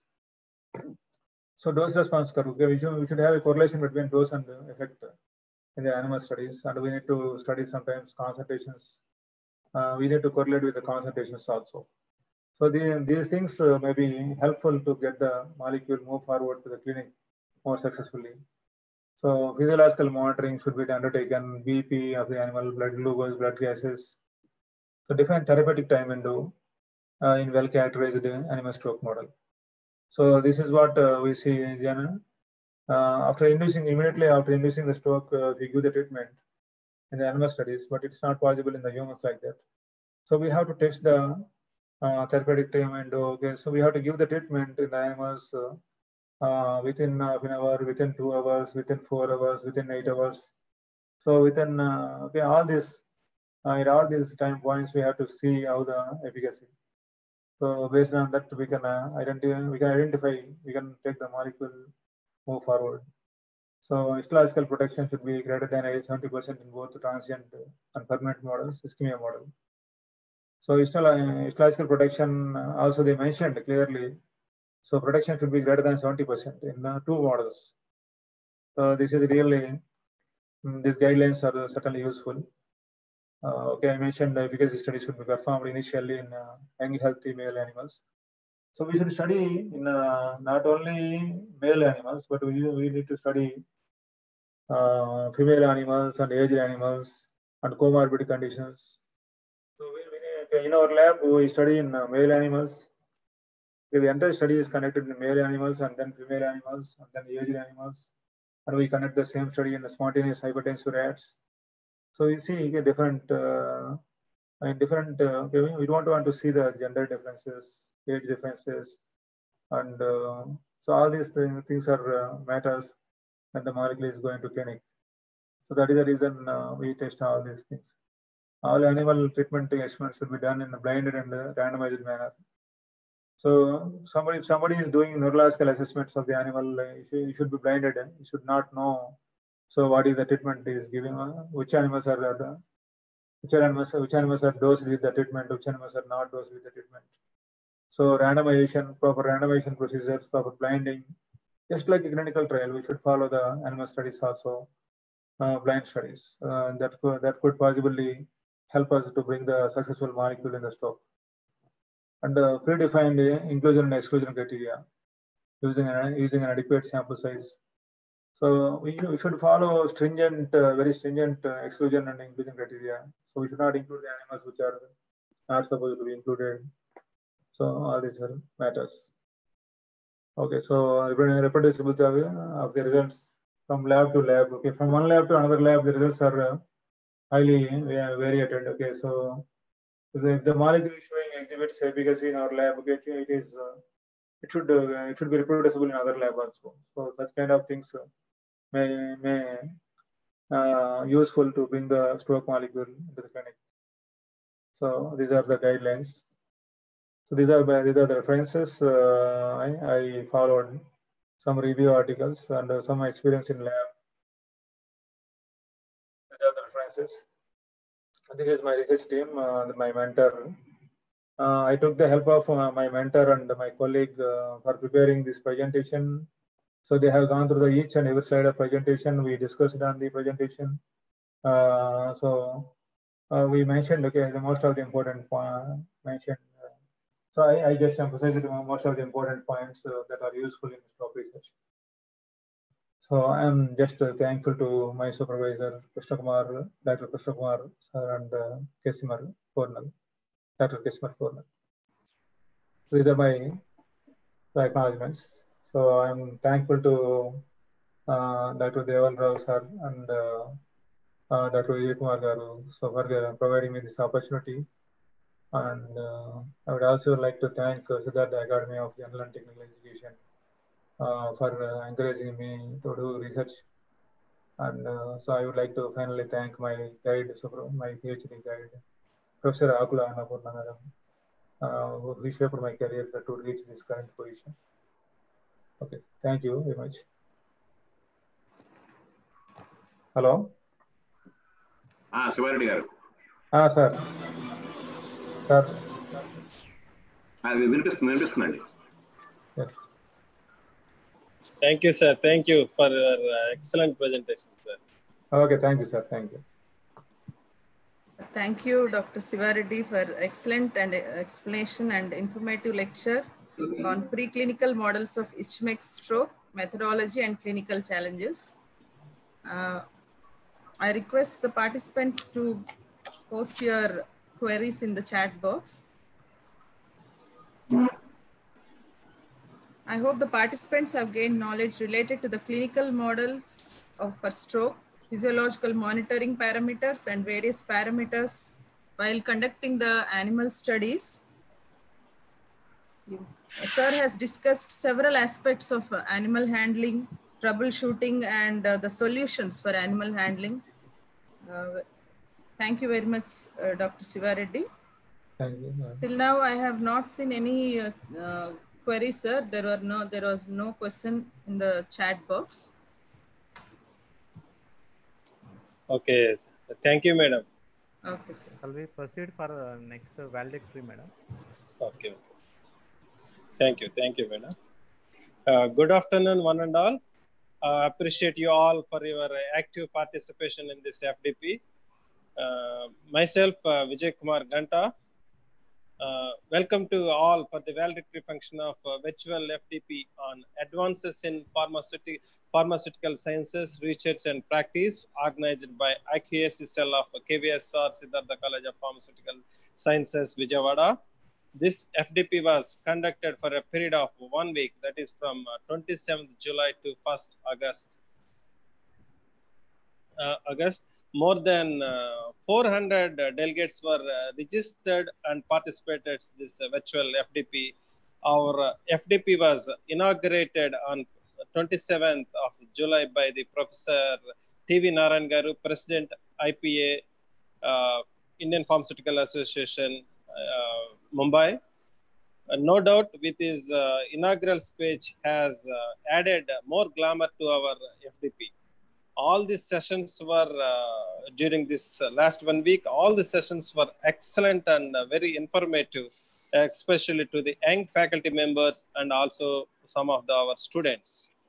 We were very lucky enough to have uh, eminent speakers uh, such as uh, Professor KPR Chaudhary Garu, uh, Ramesh Adapu, and uh, Vijay Sardi Sataluri, and uh, Bhagwan Raj Garu, and uh, Siva Garu, and uh, uh, Sai Krishna. I hope that their uh, informative sessions were uh, motivated young faculty members towards active participation in research and uh, good practices.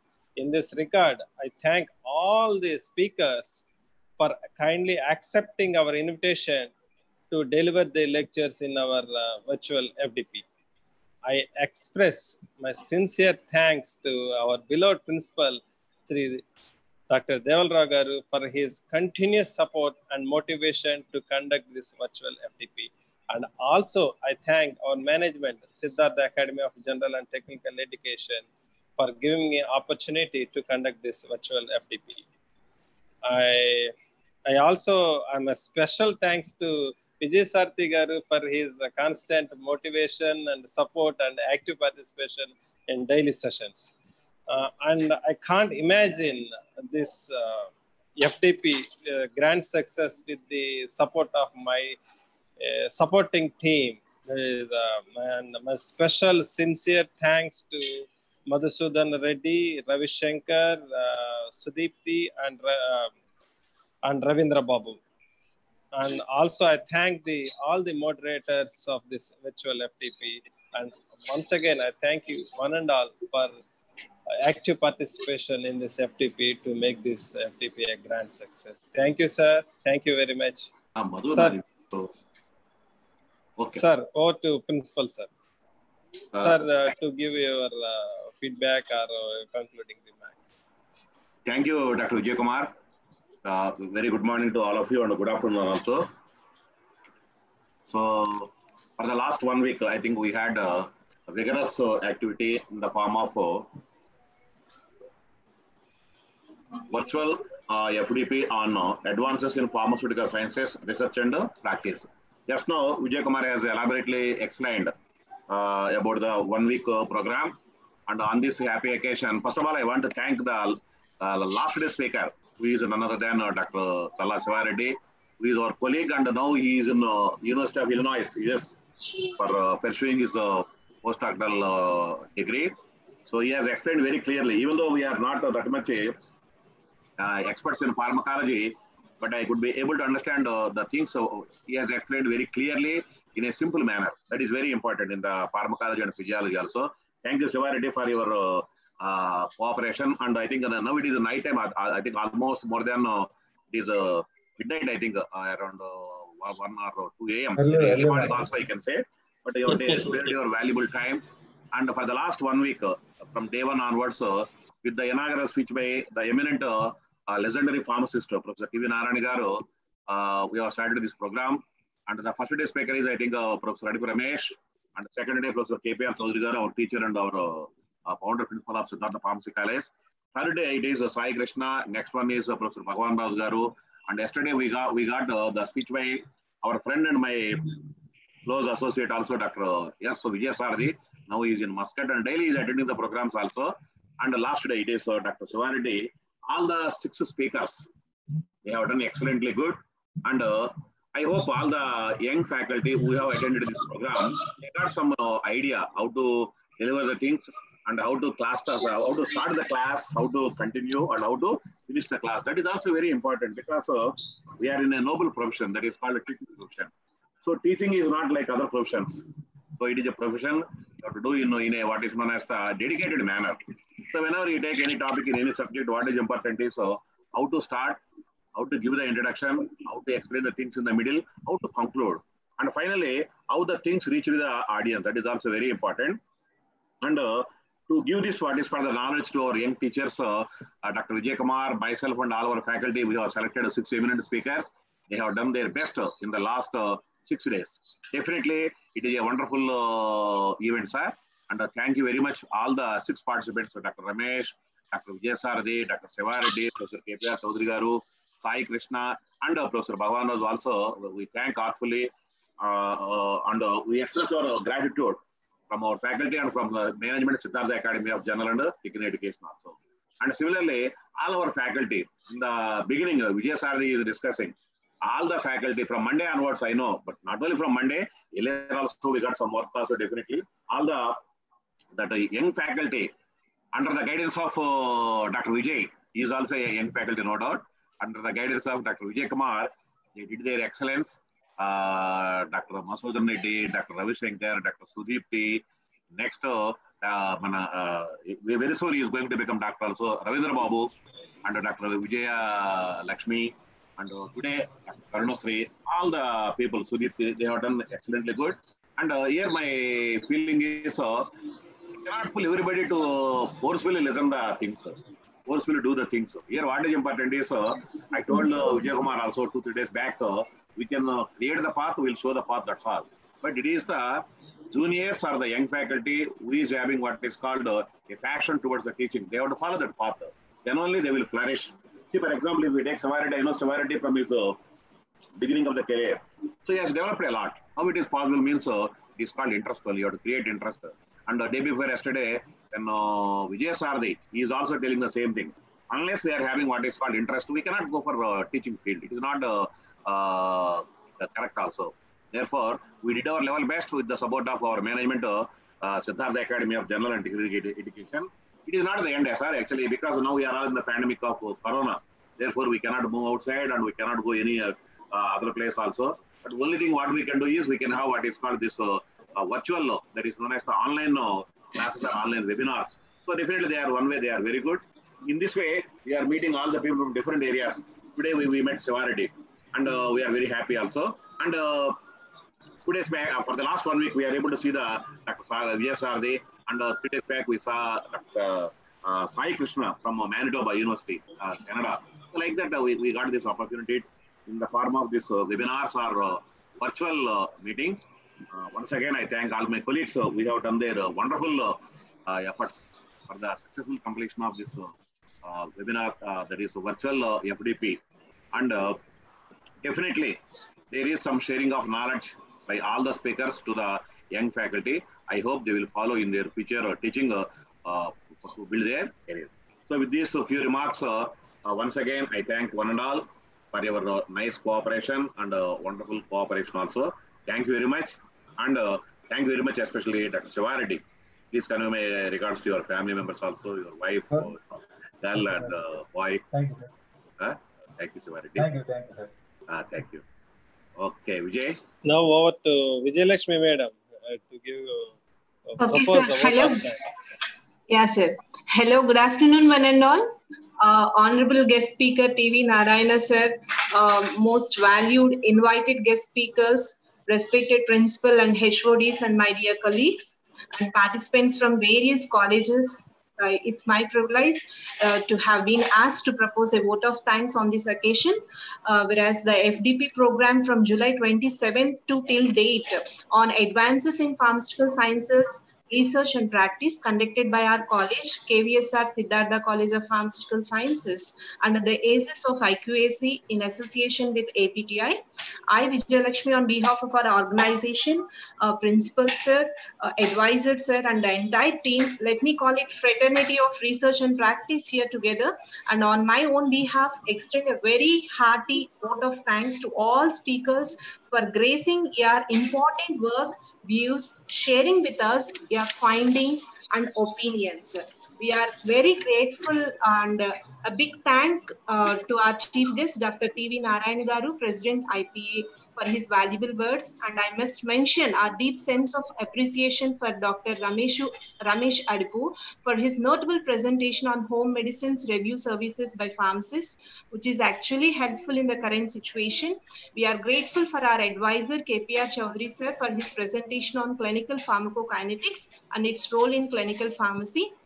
And I make like to express my gratitude to Mr. Sai Krishna Gudi for his talk on importance and impact of pharmaceutical technology on healthcare. And we are very grateful to Dr. Bhag- M. Bhagavan Rasgaru for the latest, needful, and highly applicable topic nanotechnology need of the hour in pharmaceutical research. And I may like to express my gratitude to Dr. Saradi Setluri, Vijay Saradi Setluri for giving an excellent coverage to basics and overview of chromatography. And last but not least, I also wish to express my gratitude to our sir, Dr. Shivareddy Chella, giving the presentation on preclinical models of ischemic stroke methodology and challenges. Really, we are very thankful to you, sir, for giving uh, your uh, uh, session in the odd timings. Thank you very much. Finally, we thank you all for successful completion of one week virtual FDP and thanks uh, to our principal, uh, sir, and HOD, sir, Vijay Kumar, sir, advisor, uh, KPR Chowdhury, sir, and Siddhartha Academy of General and Technical Education for providing this opportunity. Thank you, one and all. Okay, Vijay. Thank you. Thank you. Thank you, sir. Thank you. Okay, shall we conclude, Vijay? Yes, sir. Yes, sir. Yes, sir. Okay, sir. thank you, sir. Thank you one